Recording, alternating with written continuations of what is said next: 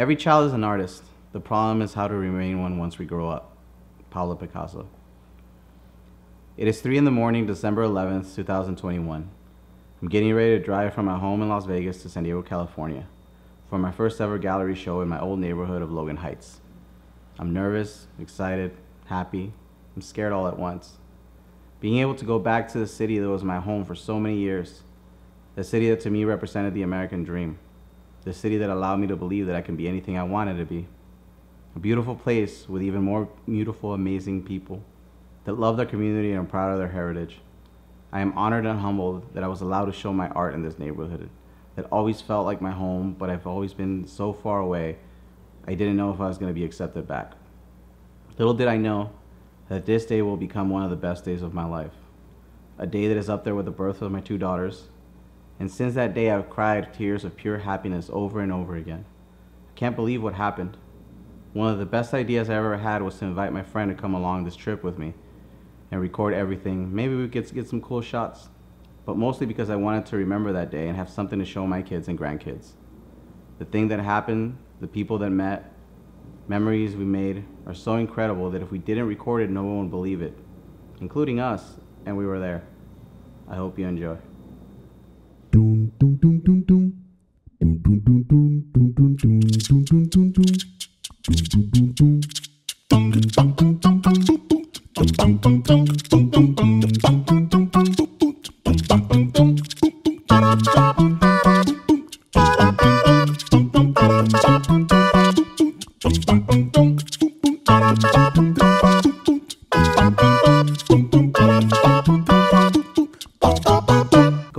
trip, I knew that I had a bunch of surprises for everybody that was with me.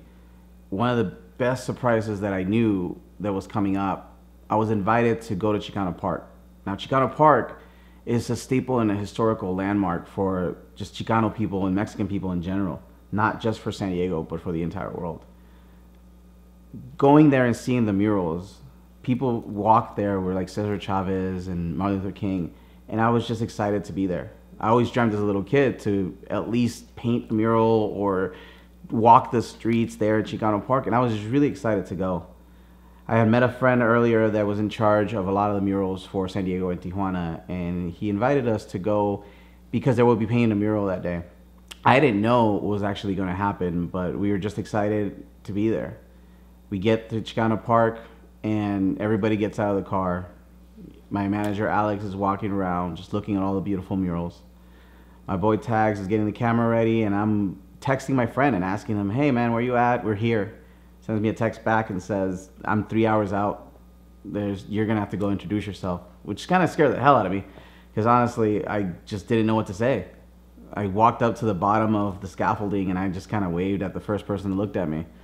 I introduced myself and I told him I was an artist. I was having a show that day. I showed him a couple of my paintings and he asked if he could see it because I had one in the car. And I showed him the painting. He got super excited. At that point, he looked at me and he said, Do you want to go meet Victor? I know the name Victor Ochoa because he's almost like the godfather of Chicano Park. He has over 100 murals. He's an amazing man. We studied about him in elementary school and junior high. And I just found out that I'm gonna meet him. So I asked him if I could bring my friends along and if we could record it. And he was like, sure. I remember walking up the scaffolding and every floor that we went up, it, scaffolding moved. He was telling me how they were painting the entire thing with 30 gallons worth of metallic gold flake and the pillar was just gonna shine in the sunlight. So amazing. We kept going up the scaffolding, and higher and higher we went, we kept noticing that the scaffolding kept shaking. We got to the section where Victor was at, and I just remember looking at him. From behind, he was just an older gentleman with his walking stick and an airbrush in hand, and he was just painting. I never met him before, I've only seen pictures of him in books. He turned around, and I was just in awe. And then he started swaying side to side. And I was like, what is going on? And I just thought to myself, and he looked at me and he said, you gotta dance up here, mijo. You can't be up here if you're dancing. And right there, I realized that, man, I love this guy. I introduced myself. He, you know, show him a couple of my, my paintings. I told him I was having a show. He started telling me about the work that they were doing. At that point, my assistant, which is my fiance, and my manager and my boy Tags, they were he was recording. They were walking around, looking at everything. The first gentleman that invited us up asked me if I wanted to go to the very top. I said, hell yeah. So we walked up all the way to the very top of the scaffolding. I was touching the bottom of Coronado Park, or like Coronado Bridge, which to me, I wanted to cry at that point. He asked me if I wanted to stand on this ledge and you saw all of San Diego. Coronado Bridge starts in one of the Hispanic neighborhoods of San Diego, what people considered a low income neighborhood, and it takes you over this bridge to Coronado Island, which is one of the richest areas in San Diego. So that definitely didn't get past me. As I'm walking around, I'm looking at it. I asked, you know, I asked the guy that invited us up um, if he could take a picture of me. At that point, I see my boy walk up with his camera, looking freaked out because the whole thing is shaking like crazy. I see my manager Alex, and the first thing that I could think of as she's looking at all of this was, Alex, this doesn't ever happen. I lived in this city for so many years, and there's people that have lived here for 50 years, even longer, have never seen this. So we go back down, we talk to Victor for a little bit. I invite him to the show. I knew he probably couldn't come because they're busy. And we got downstairs. And at that point, we realized that this was just the beginning. This is how we started off our day. And it put a bar so high that I'm like, how are we to beat this? And it was just the start of our trip to San Diego.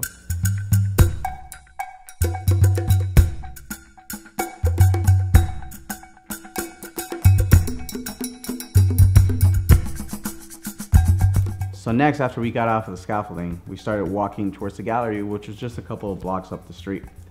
As we're walking, I'm trying to explain to my manager, Alex, just what the significance of this area of this park is. Now, Chicano Park in Logan Heights has is a very tight-knit community. They don't just let anybody in. Outsiders uh, that try to come in and try to be a part of it, they're very scared of those kind of people because so many people have come in and tried to take over the neighborhood. They try to buy out businesses. They try to, you know, buy the land that they've lived in, their parents have lived in, and kick them out. Gentrification is a very real thing, and they fight against it very, very hard. So the fact that I was even allowed to be back there in this historic place to me meant the world, and I was fighting tears the entire time. I just remember telling Alex that as I was trying to explain to her, to her being that she's new to the country, she's only been here for a few years. It was hard for her to to realize what all this meant without being told and shared what the story of this this city is. We finally make it to the gallery, and it was time to set up for the show. So we walk towards the gallery, which is Logan Avenue Galleria. Um, in the front is an amazing ice cream shop where they have homemade ice creams, some of the best ice cream I've ever had. In the back, they have a really small but beautiful gallery space when I first met them and I introduced myself weeks ago, I just felt like I needed to do something there. Meeting everybody from that neighborhood weeks weeks prior, I, I met um, this amazing bookstore owner. She moved from the Bay Area down to San Diego, opened up this amazing bookstore, became a staple now to the neighborhood. So we finished up at Logan Avenue Galleria. Uh, I wanted to take my friends to this amazing restaurant down the street called Salud, one of the, my new favorite restaurants down there we wanted to go down and meet a friend of ours named Jimmy. Uh, he's a great friend of mine. I've known him for years. He actually eliminated me on the show Netflix uh, that we did together. And uh, it was just a fun little gathering before we continued the rest of the day. It was super packed, the schedule was crazy, but I had things planned out for the entire day. I asked my manager and my girl to go back to the hotel while me and Tags left. When I was 16 years old, I was kind of sad because I didn't get a chance to get a, my San Diego tattoo. And at 16, I was still too young to get it.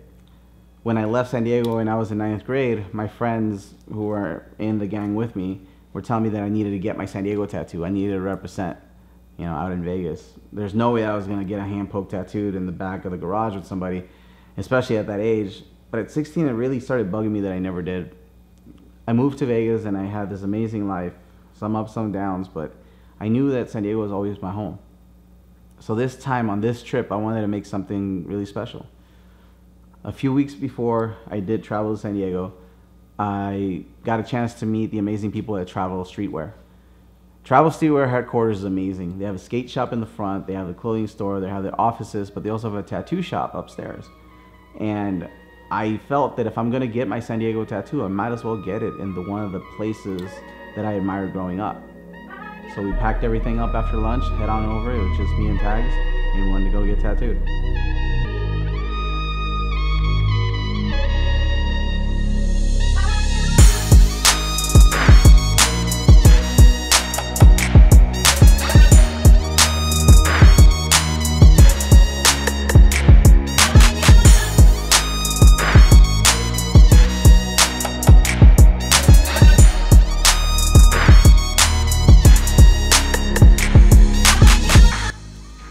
In, it was just an amazing experience. I wanted to show my boy the gallery store, the art, just everywhere. We finally got a chance to go upstairs, and as we're gonna go to get my tattoo with this awesome tattoo artist uh, named Avocado Man, we walk upstairs and I see paintings from Mear One. You know, like there's all these amazing artists that I admired, and now I'm sitting there looking at the originals while I'm about to get tattooed. Avocado Man walks in, kind of tell him what I wanted to do. So I went in and I got my Old English San Diego tattoo on my wrist. It was something that I was super excited to get, super happy. And if I didn't get it when I was a little kid, I was sure gonna get it now because San Diego is part of my home. And whether I live there or not, it's always gonna be part of me. So now it is on my skin. So it's the night of the show. I decided to to dress up as best as I can in my own little weird style. But one of the most important things that I had to put on was my red cardigan Mr. Rogers sweater. It was something that I've been holding on to for a long time, and I felt that I never had the right to wear it, that I haven't earned that right.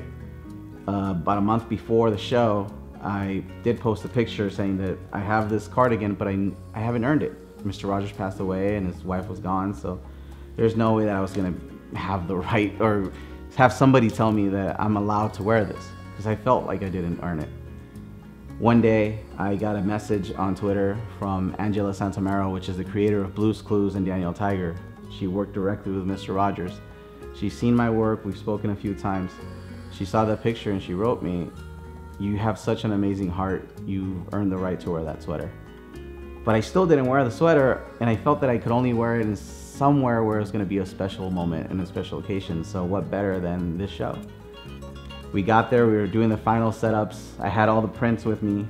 We did a, we did a run of prints that we were going to donate all the proceeds to Libelula Books down in San Diego, and I had to sign a number of them. I was waiting for Marcos, my friend, to arrive because we were going to be signing together. He had his chair right next to me, and we were ready to go. So as I'm sitting there and I'm signing the prints, you know, one out of 50, two out of 50, the feel and the vibe of the room kind of changed, but in a beautiful, positive way. I remember looking at towards the door, and at that moment, Victor Ochoa walks in. I see his steps coming very slowly with his walking stick, and he's holding a huge book. And I just saw him without saying anything. The entire room just erupted in cheers and applause that he was there. To me, it meant so much that this historical icon of this neighborhood that I grew up in was came to my show. He didn't have to. He didn't have to be there, and it meant so much to me. I saw him walk in, and I just got up from my chair. I stopped signing prints, and I was like, Victor, thank you so much for coming. He looks at me, points at the chair next to me. He's like, Can I sit down? I literally thought to myself, Screw it, Marcos ain't here. He could wait, whatever. That's his seat. Victor walked over very slowly, sat next to me. Alex pulled out his chair, and he started showing us this book, this book that was made for him and he told us, This is the book of my life. Everything that I've ever done is in this book. I have Alzheimer's, so one day I'm not going to remember what's going to happen. So when people ask me, What'd you do this day? I could turn to page 36 and tell them that's what I was doing. He has such an amazing soul and such a funny guy. And the fact that he was there, just, I could, the, the show could have ended and I could have been ha- completely happy. He spent the next two hours just hanging out with Alex, telling us stories. Marcos finally shows up we're, we're doing the show, the show starts, and the entire time he's still there. And it's now the three of us on this table. And it was such an amazing experience. And I thought earlier, after meeting him at the scaffold, how are we gonna top this? How is the day gonna get any better? Well, it just did.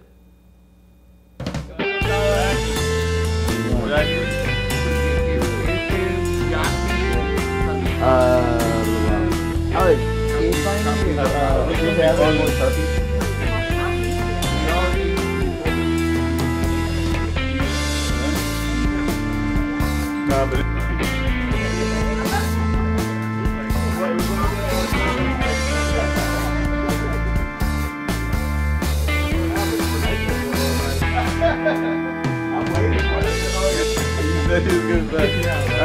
He seems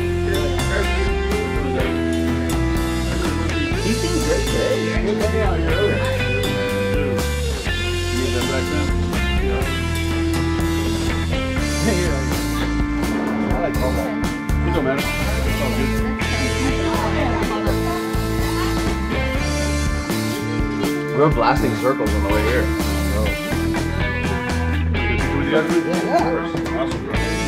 So the show is in full swing. Uh, Victor's over here talking with Alex. Me and Marcos are just you know talking back forward, meeting fans. So many amazing people showed up. A lot of people from the neighborhood. A lot of people that he knew.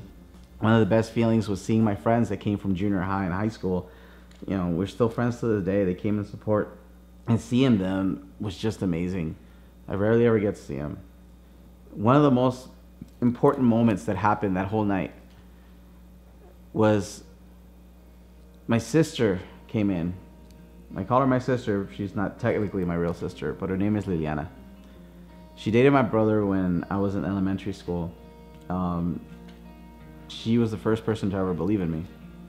She knew right off the bat that there was something special about me, and she kept telling me that every day.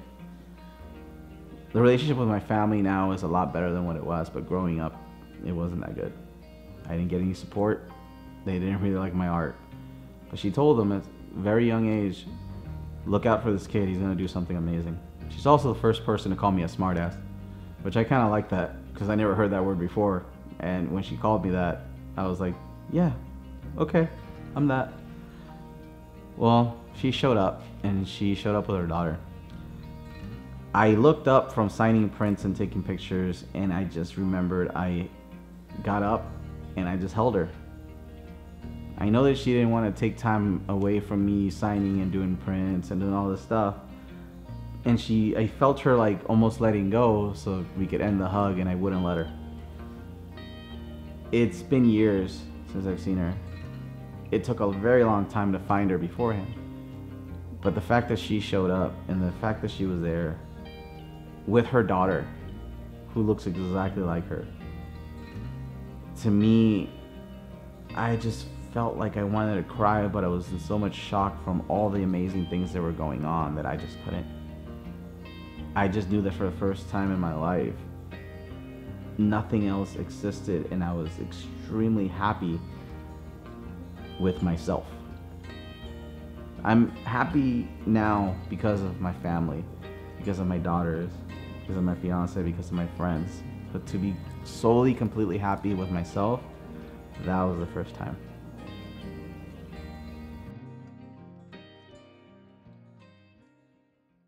The amazing night that we worked so hard for was finally coming to an end. Just the show part. Now it's time to celebrate. Now is the time for me to hang out with my friends that I haven't seen in a very long time, introduce them to my new friends and my new family, and get to enjoy the night. It was such an amazing experience. I'm so glad that I was able to do it. And I was able to do it with a purpose to give back to the neighborhood that saw me grow up and they still do so much for the kids and the people in the neighborhood. Being able to do the show just was the solidification of the fact that I am now back in San Diego. I am back in this neighborhood. And I'm just excited to be a part of it. So after an amazing night, we still couldn't believe everything that happened. It felt like it was 48 hours and it was only like 24. We had to pack up and start getting ready to come back home, but before we did, I had to make a stop at the bookstore, Libelula Books. They're the reason why I was there. They're the reason why I made the print because I wanted to make sure that I could raise profits to give to them so they could keep continuing helping the neighborhood. it just happened to be that right before we left and I pulled up, we all walked out of the car. We went to straight to the we went to the bookstore, and the owner of the gallery was there talking to the bookstore owner, and they were telling him about last night, how amazing it was, how much fun everybody had. And as we walked in, it was just too perfect. The kids were there, everybody was there, the store was full, and I was able to tell them what we did, and they were super excited and grateful. And I told them about the book that I read. See, the night before, after the show ended, there was a little impromptu reading of my newest book, I'm Not Okay Today, right in the middle of the street in front of everybody. So I asked them, Would you mind if I do a reading of that here today with you guys? They were like, Of course. So they sat me down on their couch and pulled up my phone and I read the book.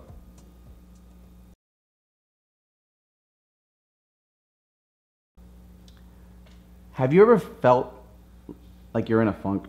Have you ever woken up and just felt off? You have no idea why, but you kind of feel out of it.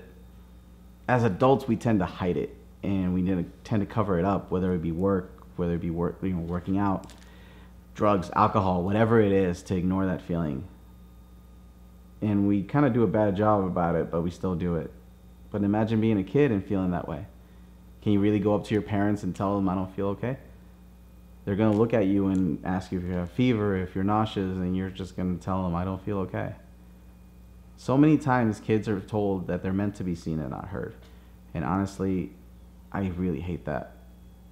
Because being a child is already confusing enough. So when you have these feelings that you can't even understand, it's even harder for you. I wrote this book called I'm Not Okay Today. And I'm going to read it for you guys right now. I woke up this morning and I wasn't feeling okay. Don't really know what's wrong with me. It just feels like a strange kind of day. I wasn't sad. I wasn't mad. I just didn't know what to do or say. I don't like feelings that I don't understand. I just know that I don't feel okay. I was thinking and thinking, but it just made me more scared. Should I tell my family and friends? And if I do, would they even care? I don't want to bother them or make them feel upset. Maybe if I ignore them, this feeling is something I'll soon forget. Maybe if I don't think about it, it'll quickly go away. I just don't know what to do. I just know that I'm not okay today. Maybe if I start drawing or playing games or running real fast, this feeling won't be able to catch me because it surely cannot last. So I played and I ran and I used all my imagination. I pretended to be a pirate. I was an astronaut. I was the king of my own happy nation. I was pretending to smile to be happy and joyful today. I did everything I could to forget that I don't feel okay. But it seems like no matter what I do, this blah kind of feeling won't leave my side. So I get up and go to the place where I like to hide. I cried and I screamed till I ran out of things to say. I started thinking something's wrong with me. Why can't I just be okay? All my friends seem to be happy. They don't feel the way that I do. What have I done to deserve this? I just know I that. know that I'm feeling blue. I don't want the ones that love me to be disappointed in me because I'm not feeling okay. Should I pretend to go smile for others and just go about my day? Should I pretend to be happy? Should I pretend to be well? Should I continue to put on a show and hoping that others can't tell? Should I just hide forever so I don't make my friends upset? Should I go far away until one day about me they'll forget? I really don't know what to do to fix me. I just become better today. I really feel like people can feel broken. I just want to be okay. You know, I feel like maybe this is it. I'm always gonna feel like I'm a slump. Maybe I'll pack my things and go live in the city dump. Live amongst all the things that are broken, the things that just don't matter. I'd rather be okay, not okay alone. So I around me sadder. I will live alone in this new home of trash, this dump where I get lost more and more every day. I will finally be in a place where it doesn't matter if I'm not okay today. Right at that moment, my closet door opened up, letting the bright sun, sunlight shine on my face. It was mommy and daddy. Where were you? We were looking for you all over the place. We looked for you in your room, in your backyard, in the kitchen, under the stairs. We looked for you everywhere. You had us both really scared. At that moment, daddy said, What's wrong, little one? You look, like really, really upset. upset. What's bothering you today? With tears running down my cheeks, I said softly, I don't know, Daddy. I just don't feel okay. I try really hard to figure out what's wrong with me. I'm scared because I don't know what's going on inside. I just want to go far away to a place where be not okay by myself and hide. I don't want to bother you two. I don't even understand why. This feeling is so overwhelming. It just makes me want to cry. What's wrong with me? Am I broken? Am I weird? Am I strange? Is there some place you can get a better child that's not as messed up as I am? Like a return a kit place where I can get exchanged? So sorry for feeling like this. I wish I could make it go away. I'm sorry I'm not perfect. I'm sorry I'm not okay. I closed my eyes and sadness overtook me with tears flowing like an open garden hose. And right when I felt at my saddest, I felt something come close. Daddy put both arms around me while mommy held my hand. She wiped the tears from my face and said, I'm so proud of my little man. Proud? How could she be proud? I thought with confusion. Did she not hear what I said? I am broken, not okay. Something is wrong with my head. She looked at me with eyes full of grace. My father held me tighter with a smile upon his face, and he said, Son, no one's perfect. We all have our good days and our bad. Some days we feel happy, some days we feel sad. Some days mad, some days blah. No day is ever the same. Some days we all have feelings that we can't really explain. Just know that we love you and always will care. And never feel alone because with the ones that love you, you can always share. Mommy said that no matter the feeling, confusing or not, we will always be there for you because our love is what you got. Daddy said to me, We both feel like that from time to time. You're not broken. You're not strange. It's just not true. You're perfect the way that you are, and there's no better child than you. It's okay to feel feelings. You don't have to ignore or pretend they aren't real. It's okay to laugh, to cry, to be proud of all that you feel. It's okay to share what's inside you. You really don't need to fear it. And those who care and love you, I guarantee you, we all want to hear it. Your feelings are valid, valid, they matter, they're true. They're as unique and as special as the little boy so much we love so much, and that is you. So I held my parents close and finally felt like I can share my feelings and all the things that I have to say. But most important of it all, I've learned that it's perfectly normal to not always be okay. 40 pages, and I'm page I'm on page six of illustrating. Okay, we yeah.